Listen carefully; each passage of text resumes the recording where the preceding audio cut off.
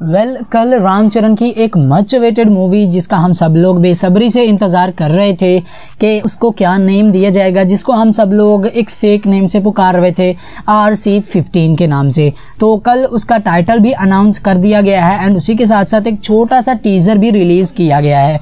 तो किस तरह का है वो टीज़र और उसी के साथ साथ ये जो पोस्टर रिलीज़ किया गया है वो किस तरह का बनाया गया है तो आइए जानते हैं इस वीडियो में। सबसे पहले अगर यहाँ पर हम लोग बात करें पोस्टर की तो पोस्टर ओवरऑल जो है बस ठीक ठाक ही लगा। इतना कोई अच्छा खासा पोस्टर नहीं बनाया गया।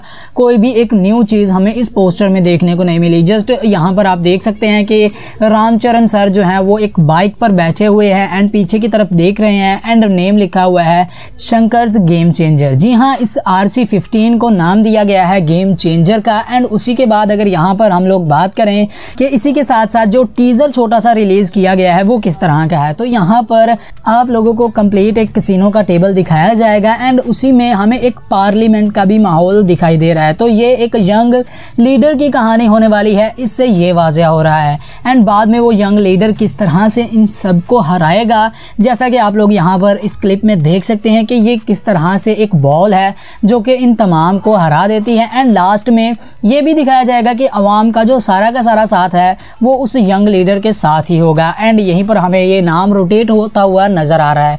तो ये काफ़ी अच्छा टीज़र बनाया गया है। मैं टीज़र को अच्छा खासा बोलूँगा क्योंकि इसमें बहुत ही अच्छे तरीके से यहाँ पर और सोचने के बाद इसे बनाया गया है क्योंकि बहुत ही अच्छे तरीके से यहाँ पर टीज़र को यहाँ बोल रहे जी टाइटल अनाउंसमेंट को यहाँ पर बनाया गया है। लेकिन पोस्टर ओवरऑल बस ठीक ठाक ही लगा एवरेज सा पोस्टर लगा।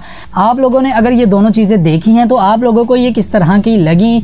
बाय द वे आप लोगों ने ये दोनों चीज़ें जो है, एक पोस्टर और एक टीज़र या टाइटल अनाउंसमेंट जिसे बोला जा सकता है वो आप लोगों ने यहाँ पर भी देख ली हैं। तो आप लोगों की क्या राय है कि ये किस तरह की बनाई गई है? तो ये थी थोड़ी सी वीडियो। आई होप सो के वीडियो पसंद आई होगी। वीडियो में कोई भी सवाल हो, नीचे कॉमेंट कर दीजिएगा। मैं उसका ज़रूर रिप्लाई कर दूँगा। मैं मिलूँगा आपको नए वीडियो में। तब तक के लिए गुड बाय